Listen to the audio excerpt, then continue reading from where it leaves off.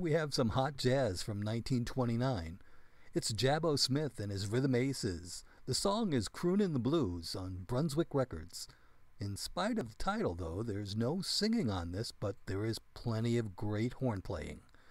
Please enjoy this, played on my Victor Orthophonic Credenza 1927 model phonograph.